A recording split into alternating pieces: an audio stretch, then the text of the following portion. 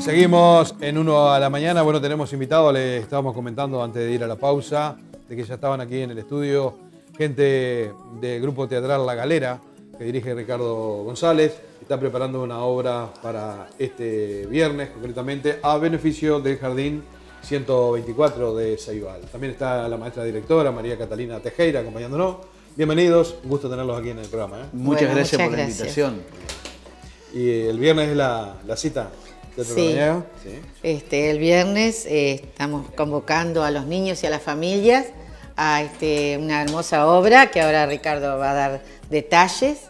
Este, una obra para niños eh, que la Comisión Fomento del Jardín y bueno, los docentes, eh, todos le estamos poniendo el hombro para que llenar el teatro. Queremos que todos los niños como las familias asistan y bueno, va a ser a beneficio del jardín que a su vez está celebrando 25 años de vida, bien, jóvenes ahí está. 25 Sí, La años. verdad que sí, muy bien. ¿Están trabajando muy bien? Sí, sí, un jardín que trabaja muy lindo. Este, somos un grupo de 13 docentes y tenemos tres talleristas y un equipo de siete auxiliares. Y ahí estamos este, atendiendo a- en este momento a 307 niños de 3, 4 y 5 años, repartidos en 11 Ahí grupos. Bien. Eh, Ricardo, ¿qué podemos decir de la obra que van a estar presentando? Bueno, lo que vamos a presentar es una obra que, que, eh, estrenamos el año pasado, por lo tanto aún se sigue dando, y es eh, la teatralización de Alicia en el País de las Maravillas, eh, un cuento del inglés Lewis Carroll, y que nosotros ya tuvimos la experiencia de haberla presentado y que la verdad que los más de 2.000 niños que la vieron el año pasado la disfrutaron muchísimo. Es una obra que eh, tiene la característica de ser interactiva, los, los niños desde sus lugares y saliendo de los lugares en algunos momentos tienen que este, moverse con algunos elementos de la obra para que la obra pueda continuar. Eso es una característica que este grupo que nos interesa mucho, que los, que los niños también sean protagonismo- protagonistas, que piensen, que reflexionen. Y van a ver sobre escena 22 de los personajes de las, de 22 las historias de, de Lewis Carroll. Algunos de los, de los actores este, doblan Ajá, este, los, personajes. Ahí estamos viendo este, algunos de ellos. Eh, esa es una foto tomada sobre el escenario. Es una. eh, es como la, la- la producción más importante de la galera en lo que tiene que ver con la inversión que, que ha hecho y la verdad que nos, nos está dando muy, muy buenos resultados.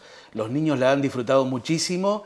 Este, nosotros siempre contamos que este, los niños le han pedido a los padres meses después que, que nos llevaran a los cumpleaños, cosa que hemos, que hemos hecho va, así en bueno. algunos momentos y, y, este, inclusive algunas de las fotos que se, que se ven son a la, día- a la salida del teatro.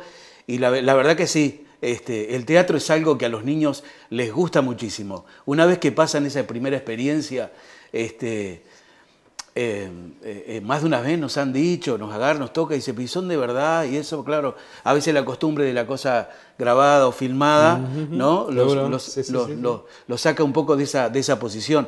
Pero disfrutan muchísimo y este es un momento en que hay alguna propuesta para niños, eh, pensamos que tienen que aprovecharla, ¿no? No solo para niños, la familia también lo disfruta. La familia es un, es un espectáculo que está pensado para toda la familia, desde los más chiquitos, este, adolescentes que la han visto el año pasado la disfrutaron mucho, eh, para los más veteranos la música que compone esta puesta nuestra está basada en melodía de los Beatles. O sea que también es algo que, este, que nos ayuda a disfrutar también a los mayores. Y quizá acá hay una generación de chicos ahora que nos- no habían sentido eh, hablar o no, no conocían el cuento de Alicia, ¿no? Mm, Claro, exactamente. Eh, hace, hace algunos años la, la versión fílmica de Tim Burton este, este, puso este, a conocimiento de, de- de- de- de estas generaciones lo que era Alicia en el País de las Maravillas. Y ahora este, eh, ha filmado una continuación que es Alicia a través del espejo, porque Lewis Carroll compuso varios, muchos cuentos. En realidad eran todos cuentos cortos y él los fue juntando. Y este, nosotros tomamos historias de Alicia en el País de la Maravilla y Alicia detrás del espejo, que es el segundo libro de él. Y ahí este, pusimos a los, a los personajes y, y hay cosas este, muy, muy, muy curiosas que, que- que son propias de, de- de la apuesta del grupo, pero que este, la disfrutan mucho. ¿Cuántos integran el, el elenco de, de grupo? En ¿Cuántas este personas? caso, eh, nosotros, el elenco La Galera, somos 20 integrantes. En este caso, eh, habemos 11 actores sobre escena y unos 4 técnicos atrás manipulando. Bien, ¿y las edades más o menos de los integrantes? Eh, bueno, acá van desde los 20 hasta los 60 años. ¿tá? Este, eh, que es lo que nosotros tratamos de, de- de hacer con el elenco. La galera siempre po- propone entre 3 y 4 obras teatrales por año y tratamos de cubrir la mayor cantidad de, de- de, este, de público. Niños, jóvenes, adultos, las comedias les gusta mucho y, este, y por eso bueno, tratamos de ampliar el abanico etario en, el- en el- en los, en los actores. Perfecto. ¿El viernes a qué hora comienza la El viernes función? a las 16 horas en el hermoso Teatro La Rañaga, que además es una oportunidad de llevarlos a los niños, que este, muchos niños de corta edad, eh, no solo porque no hay muchas obras a menudo para ellos, este, sino a veces, bueno, no hay oportunidades de ir y, y bueno, es una hermosa ¿Cómo no? oportunidad Bien. para, para convocar y llevar a los niños. Este, a un precio módico, están las entradas a la venta. ¿Dónde se pueden adquirir? Están anticipadas, bonificadas en los kioscos El 11, este, en, en BJ, allí en calle Brasil, y también en Ciber Total, este, en calle Uruguay. Y también por la mañana hasta el jueves están a la venta en el jardín eh, 124, en Morquio 1024. Perfecto. Bonificada. Bien. Luego allí en el teatro estarán un poquito, un Con poquito otro más. precio. de- Perfecto. Sí. Yo creo que hay que, hay que decir, 120 pesos está la 120 entrada, pesos. algo muy, este, Eh, muy módico al lado de lo que se están cobrando otros espectáculos. eh.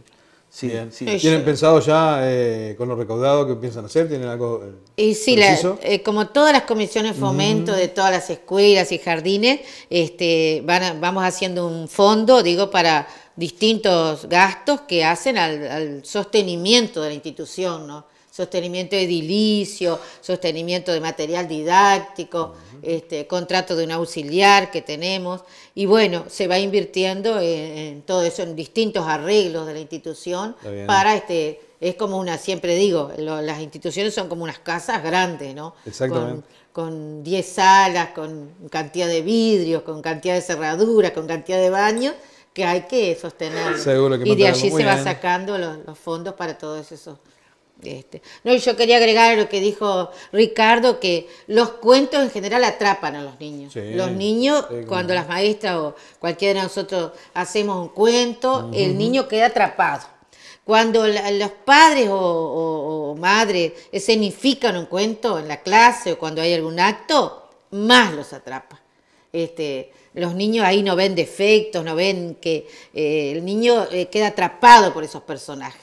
Así que yo no quiero pensar lo que es cuando el niño va al teatro a ver este, un cuento teatralizado. La verdad que es hermoso, es una gran oportunidad de brindarle a nuestros niños este, esa, ese cuento. Y bueno, en vacaciones, una semana inestable, Exacto, que va a que seguir, como eso. decían hoy, este, no hay muchos lugares donde ir porque los niños en esta semana con la inestabilidad del tiempo no se los puede sacar mucho los espacios al aire libre.